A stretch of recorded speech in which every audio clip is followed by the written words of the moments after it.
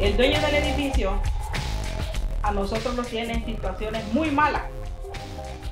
Y muchos de los vecinos prefirieron irse mejor por miedo, por temor, por falta de comunicación.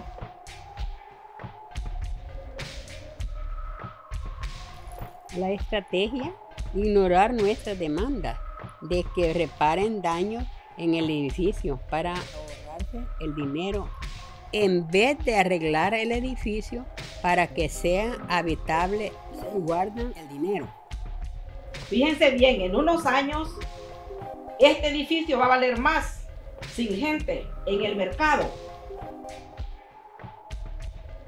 Antes eran 21 familias, eh, familias que hubieran permanecido como una comunidad. Si DCRA, la agencia gubernamental que está supuesta a asegurarse que nuestros dueños siguieran las leyes, ejercieran su poder y se aseguraran de proteger a los inquilinos. Pero ahora somos siete familiares que luchan por permanecer juntos como comunidad, hacemos los trabajos que desearon no ha podido. Siete familias que estamos persiguiendo una huelga para para poder quedarnos en nuestro lugar. Eso fue lo que pasó aquí, en el 1454 de la Irving Street. El dueño no solo trató de ignorar nuestra demanda que arreglara daños en el edificio, pero hasta ha tratado de corrernos de nuestros hogares, algunos por las buenas y otros por las malas.